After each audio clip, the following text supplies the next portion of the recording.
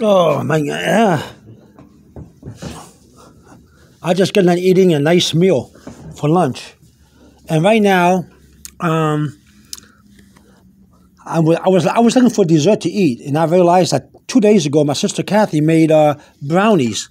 See here, brownies, and we do have ice cream in the free- in the freezer, and not, vanilla ice cream, of course. You see right there, vanilla ice cream. And I said, why, why, why, don't, I, why don't I put the uh, ice cream on top of the brownie? Maybe that'd be a good dessert. And here we go. See? So I had me a nice uh, plate of, uh, uh, of um, I had a nice plate of food for my lunch, and now I'm going to get uh, a nice dessert. Brownies and vanilla ice cream. Just the right portion, too. Not too much, not too little. Just one portion of it, and that should be just enough for, to fill me up for the dessert. Look at it. Look at how it looks. Brownie and ice cream. Uh, let me taste the brownie over here. She, my sister Kathy made this. She baked this about two days ago and put it in the refrigerator. Let me see how it tastes, though. I know it tasted before. I, I haven't had it uh, since uh, since now. So let me see if I can, so I can tell her how it tastes. Hmm. Mmm, delicious. Oh, wow. Oh.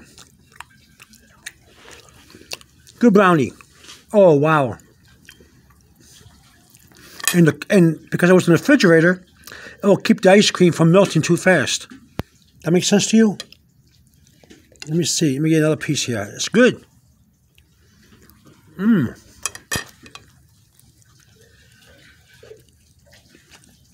I got to my sister Kathy.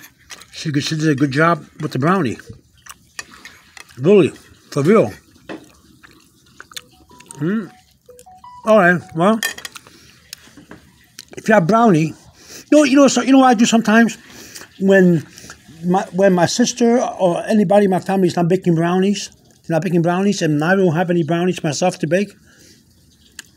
I go to the store and I buy brownies already already made, already packaged.